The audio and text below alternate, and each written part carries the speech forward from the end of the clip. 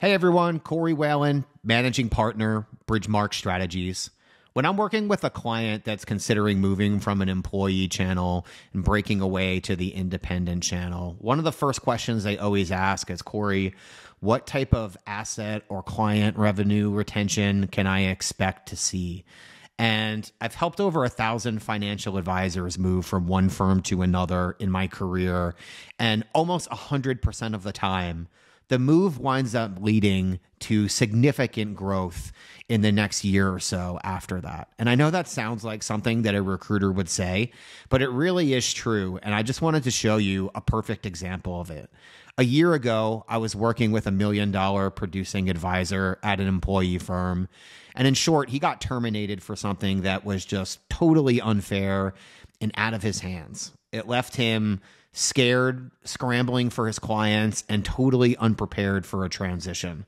And we've been in touch regularly over that time. Some of his days have been really good, and some of his days have been really bad for sure. But I called him at his one year mark just to give him a congratulations and just to check in to see what his final retention numbers were. And this is what he told me in a text, word for word. He said, Corey, I built out a scorecard for you and your entertainment. These are just my households, which I got two third of at my 12 month mark.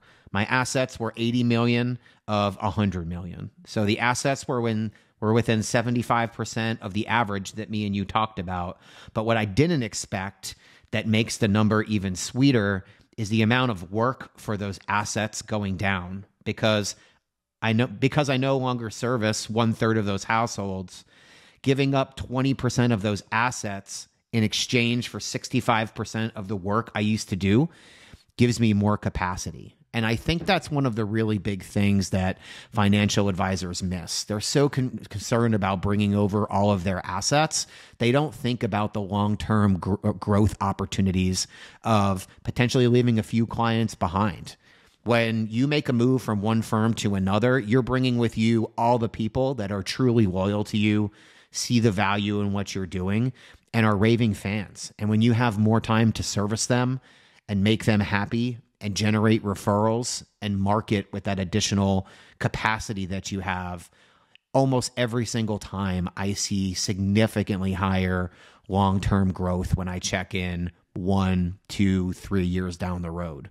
So I hear all the time, Corey, if I knew I was going to bring all my clients with me I'd leave tomorrow. But I think that's the wrong way to think about it. A little attrition leaves you with only the clients that find true value in what you're doing and more time to do the things that you really, really want to do. As I mentioned, I've seen this time and time again. I'm glad to talk to you about other stories or show you the numbers, even with a certain amount of attrition, how it still potentially makes sense to make a move to another firm. I'm always available, and my contact information is all over my YouTube channel, my podcast, my website. I really hope we could talk soon. Thank you.